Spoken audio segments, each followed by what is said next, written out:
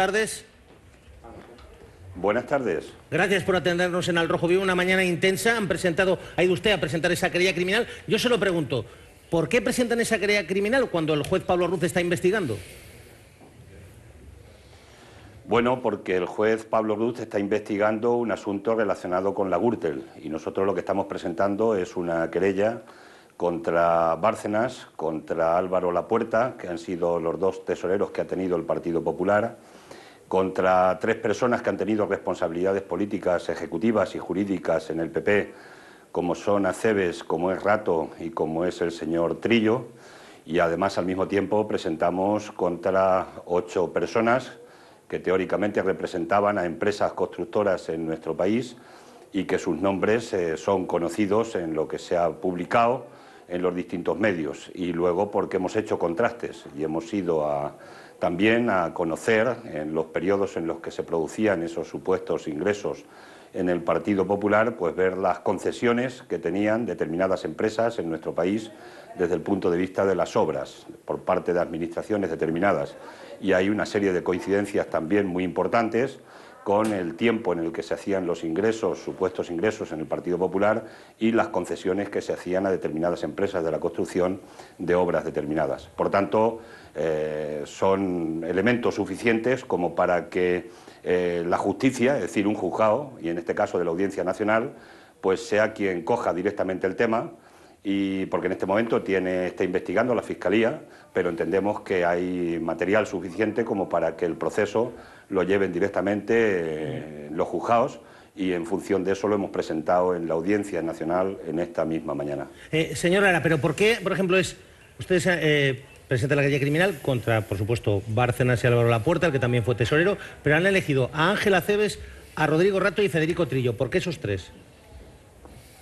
Sí, porque tenían responsabilidades en el caso de Rato y en el caso de Aceves eran responsabilidades ejecutivas. Uno vicesecretario del partido durante cuando se producían, vicesecretario ejecutivo cuando se producían estos acontecimientos y el otro secretario y el otro era responsable de asuntos jurídicos. Entendemos que las tres personas eh, podían tener o tenían responsabilidades directas en lo que eran estas actividades que se estaban produciendo dentro del Partido Popular y hemos ido, por tanto, repito, a las personas que tenían esas responsabilidades ejecutivas. Eh, ¿Teme usted, señor Lara, que, que en todo este asunto de repente empiecen a prescribir algunos delitos? Bueno, creemos, eh, podía ser que hubiera delitos prescritos, especialmente hasta el año 2003, por el tiempo que ha pasado. Pero nosotros estamos, eh, analizamos todo el periodo desde 1990 hasta el 2008, pero también en lo que de alguna manera imputamos, eh, preveemos eh, que puede haber elementos delictivos y que no han prescrito están desde 2003 hasta el 2008. Ahí es donde entendemos que, efectivamente no hay tiempo de prescripción y por tanto estarían vigentes los supuestos delitos que se pudieron haber cometido. ¿Usted cree que, que en todo este asunto la fuerza de Bárcenas es que podría demostrar una presunta, posible, hipotética financiación irregular y ilegal del Partido Popular?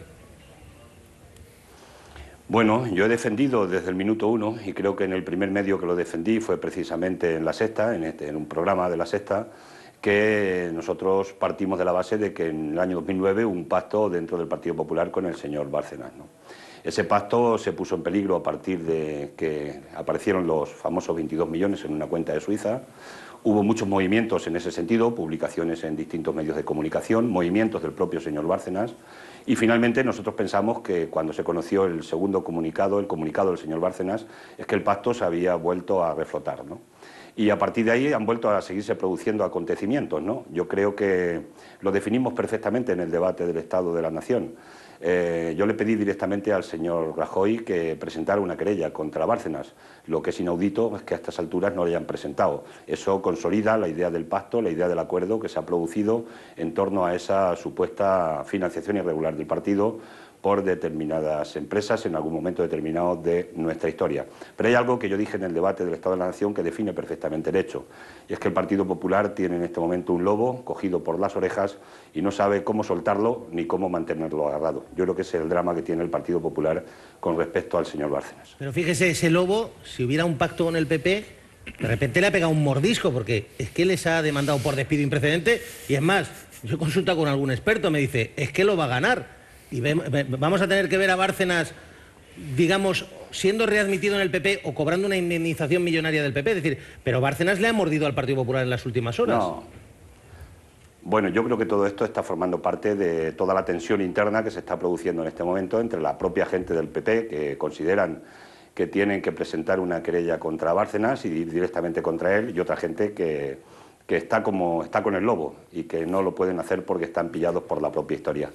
Yo creo que ahí es donde están montados. Y lo que está pasando en este momento, el despido, si fuera improcedente con la legislación actual y después de la reforma laboral, eh, no, no es la el trabajador el que decide si se queda en la empresa o si se marcha. Si despido improcedente, simplemente le indemnizarían. Es una paradoja, pero le indemnizarían y con la nueva ley laboral pues serían 20 días por año y máximo un año de indemnización. Por tanto, no sería tan millonario como las cantidades que están en este momento en las cuentas de Suiza y que se pueden haber movido a lo largo de los años en torno a esa, a esa nube negra que en este momento está persiguiendo al Partido Popular. El Partido Popular está perseguido por su propia, por su propia historia. Ahora, fíjese, hoy leía una información de Colpisa. Claro, si es improcedente, Bárcenas les va a reclamar por despido improcedente casi 900.000 euros. 900.000 euros y luego encima podría cobrar hasta el paro. Alguien que tiene las cuentas que tiene en Suiza y fuera de Suiza. Bueno, yo no creo que llegue a esa cifra. Es decir, si echamos cuentas y damos por bueno, porque además se está demostrando y además el Partido Popular ha incurrido aquí en una cantidad de mentiras que nos ha contado en las últimas semanas, eh, absolutamente alucinantes, ¿no? Eh, con, en cuanto a la relación que el señor Bárcenas tenía con el Partido Popular, unos diciendo que acabó en el 2009, otros que había acabado después, otros que no tenía ninguna, y después se demuestra que al menos hasta el 31 de diciembre, pues que mantenía una relación permanente, además con un pago y con cotizaciones a la seguridad social. Yo con todo eso creo que si la indemnización eh, se produjera por despido improcedente, un año de tiempo no, son, no da lugar a 900.000 euros, eh, repito, porque sería con la legislación actual, con la reforma laboral, que por cierto tanto daño está haciendo a tantos trabajadores en nuestro país. Una cosa más, señor Lara, ¿usted cree que finalmente será sentado en un banquillo, será juzgado Bárcenas? se ha ido. Se nos acaba de ir el sonido con el coordinador general de, Izquierda Unida, con Cayo Lara. Bueno, enseguida retomamos también este asunto Bárcenas Gate, pero antes antes, los nuevos datos económicos, Cristóbal Montoro, que está ahora mismo en el Ministerio ofreciendo los nuevos datos sobre el déficit. Enseguida pregunto en concreto por los datos del déficit. José Carlos Díez, economista jefe de Intermoney, profesor. Buenas tardes.